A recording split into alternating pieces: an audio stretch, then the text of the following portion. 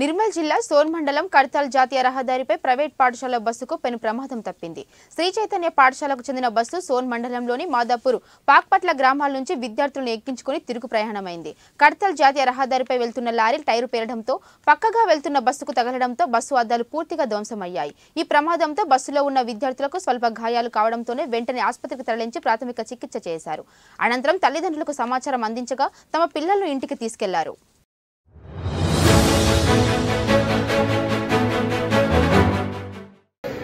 కడతల దగ్గరికి రాగానే రాలొచ్చింది టైరు ఇట్లా వెళ్ళిపోయింది గ్లాస్ పడిపోయి అందరికి ఫుల్కి కాల్కి ఇట్లా కొందరికి హార్ట్ వచ్చింది.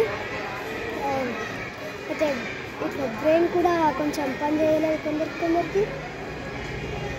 అంతే. స్కూల్ పిల్లలు క- మాదాపూర్ నుంచి బస్సులో రాగా కడతాల ఏరియాలో పక్కపున్న లారీ వెళ్ళే వెళ్ళే లారీ టైర్ బ్లస్ట్ అయ్యి స్కూల్ బస్సు డోరు తగలడం వల్ల గ్లాసెస్ పగిలిపోయి చిన్నగా పిల్లలకు ఎటువంటి ఇబ్బంది కాలేదు.